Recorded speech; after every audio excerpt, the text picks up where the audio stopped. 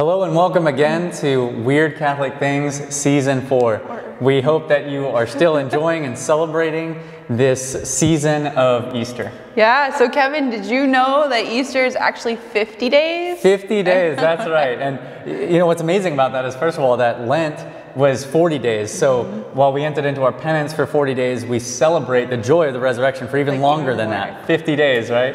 it's, awesome. it's amazing. It's going to go on for a long time. So, Yes. But we, we also, as we talked about last week a little bit with that octave of Easter, we, we get to celebrate in a special way for those eight days where it's kind of like it's all one, one continuous day of celebrating Easter. crazy? Kind of in a similar Yeah. way to, uh, we, we spoke about last season how the Triduum is three days. It literally means three days, but it's kind of all one liturgical day. Mm-hmm. In a similar way, the octave of Easter, we're just celebrating again that joy of the resurrection for eight straight days. But we get even more than that because we get this whole season of Easter that goes on for 50 days. We are an Easter people. Our joy is in the resurrection. Hallelujah. Keep saying is our it. song. That's right. so uh, throughout the octave of Easter, of course, the, the readings for Mass change, but we're still celebrating that one mystery. And then during the season of Easter, we actually have a, a, some, an interesting change as far as the readings go at Mass, whereas normally, if, you, if you're a daily Mass goer, you know that the first reading comes from the Old Testament, generally speaking. Well, throughout the season of Easter, our first reading comes from the Acts of the Apostles. And it's kind of this beautiful way to see the impact of the resurrection and, and really uh, the, of Pentecost, the outpouring of the Spirit too, on the, ear the, the life of the early church, the apostles, and how they responded, you know, how this event of Christ's resurrection changed their lives and, and transformed them. That's awesome. I don't think I'd ever really recognized that before. That's awesome. Absolutely. Yeah. And then to see the the apostles by getting to read that, it's kind of like I don't know, having like a front seat to like like a live action movie, like Yeah. getting to see like the early church and what was happening back then Mm-hmm. and how the apostles were changed like from these men who ran away scared Yeah. you know at one point when like when jesus was being led to the crucifixion and then like even afterwards that they were hiding in fear but then seeing the change that came over them Yeah. and how their impact and their faith changed the world Yeah. So I encourage you, if i- even if you're not going to daily mass, maybe read the Acts of the Apostles Yeah. during the season of Easter because it's very powerful to hear what all the apostles did in those early days. So, the, so as we talk about some of those liturgical, spiritual things, we also just have some fun ways of celebrating Easter and, and, and uh, expressing all that joy. So, Hannah, why don't you talk to us about one of those ways?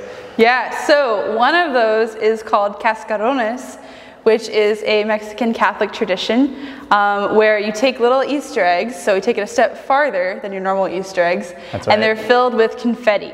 And so you can hide them, you can run around, you can smash them on someone's Smash head. them over your sibling's head. That's right. But they, they're, you know, eggs have traditionally always been a symbol for new life. You know, like that from way back, even from the dawn of time, people have seen eggs as symbolizing new life, rebirth, babies, like, Right. uh, like all. What was the quote, Kevin, that you always say? Right. So it's amazing that even in the uh, in the early times of Jesus' day, where the, the Roman the Roman people were the, the rulers, and in that in that culture, there was this phrase that all life comes from an it. egg. That's yeah, it. all life comes from an egg. So it's already this deep, uh, this this powerful symbol of of new life, and so that's why we associate it with Easter because especially when you look at an egg, you know, it, it looks basically just like a stone or a rock. I mean, something that's lifeless, it's cold on the outside, Mm-hmm. and then all of a sudden life just explodes, bursts forth from it.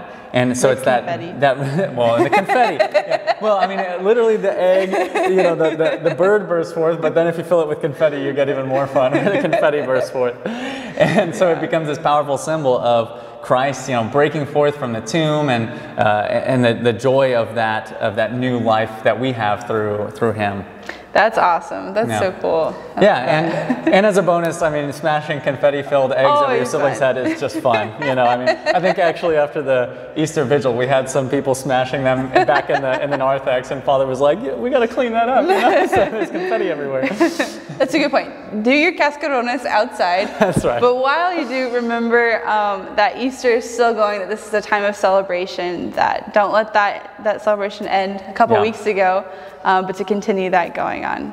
That's exactly right. 50 full days of Easter. Let's enjoy it. so that's a little bit about our Easter season and celebrating even in these goofy ways with confetti filled eggs, but it's all part of that spiritual joy that we experience in the resurrection of our Lord. So Until next time.